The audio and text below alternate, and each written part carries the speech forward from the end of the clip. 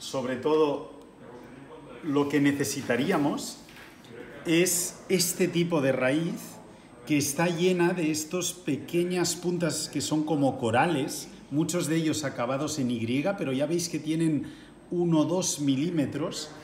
Este tipo de cabellera es lo, lo que tiene la micorriza que nosotros vamos a poder analizar. Entonces, es para que veáis la gran diferencia entre, por ejemplo, si yo recibo esto, esto no tiene nada para analizar y por tanto este tipo de muestra que es la primera que recibimos prácticamente no tiene micorrizas. En cambio, este tipo de muestra, este tipo de muestra llena de, de como pequeños corales y puntas de raíz es lo que realmente son las micorrizas y como veis muchas de ellas son en forma de Y, ¿de acuerdo? Entonces esto es una muestra buena para analizar, esta otra no.